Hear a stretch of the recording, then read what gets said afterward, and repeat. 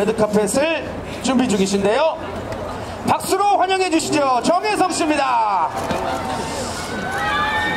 와, 한겨울에도 영화의 날씨에도 여배우분들의 드레스는 아, 생각이 드는데요.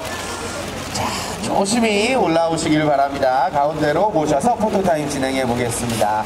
어서 오세요. 네, 가운데로 모시겠습니다. 자, 왼쪽부터 바라봐 주실까요? 가운데 쪽도 봐주시고요. 네, 오른쪽부터 봐주시고요.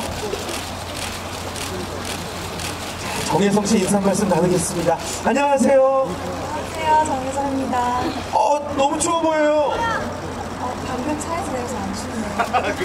우리 KBS 드라마를 사랑하는 팬분들의 열기 때문에 안 추우실 것 같아요. 예. 올 한 해 정혜성 씨 정말 KBS에서 많은 활약 펼쳐주셨습니다. 어떠세요? 한 해를 돌아보니까요.